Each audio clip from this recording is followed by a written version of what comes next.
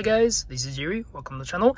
Today a quick video to show you the ambient lighting system on the MG HS range. So this ambient lighting system is only available on the HS, um, which is the petrol version for Excite and Essence or the plug-in hybrid version for the Essence only for New Zealand and Australian market. To go into the HS um, ambient lighting, so click the card down the bottom and go into the comfort and convenience. Uh, so first thing you'll notice you have on and off, quick switch, quick switch on if you like. Obviously we want to switch it on to try these features. Second thing, uh, we're gonna click individual this time, so I show you the ambient lighting first.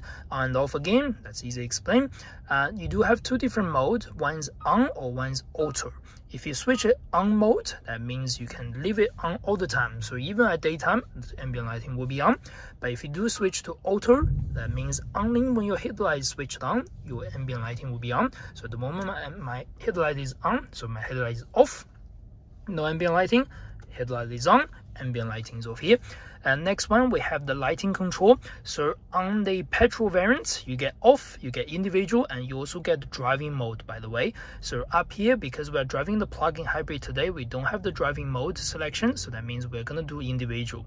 At the individual, you can personalize all the ambient lighting. So down there, you can click anywhere basically to show your ambient lighting to do whatever you like yellow green whatever you like basically. It will show up down underneath around the door and around the back as well. So that's pretty cool. And then you can change the brightness whenever you like. You can talk up and down basically.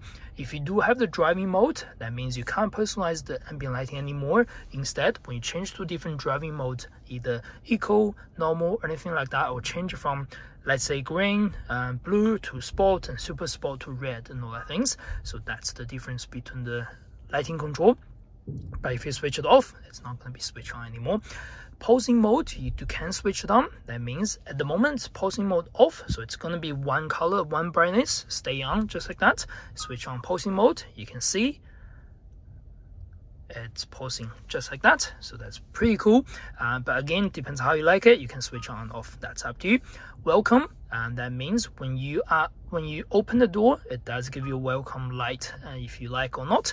At the moment you can see the welcome light is equal that means it's blue.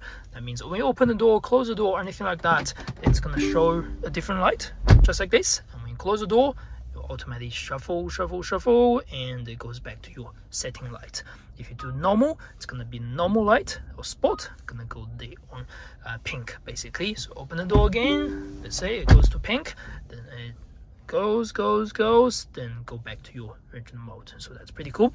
Vehicle start, obviously when you when when if you switch it off, the vehicle start will not have gonna have light or anything like that. But when you press on, it's gonna show all your light. When you start the vehicle up, it will show a different light when you start up.